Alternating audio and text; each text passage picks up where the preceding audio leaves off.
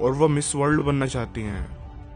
लेकिन शायद ये जानकर आपको यकीन ना हो कि पहले वो एक मेल हुआ करती थी। जब वो एक मेल हुआ करती थी, तब उनका नाम आदेश था। उन्हें बचपन से ये लगता था कि वो एक गलत बॉडी में फंस गई हैं। और तब उन्हें जेंडर चेंज करने के बारे में मालूम भी नहीं था।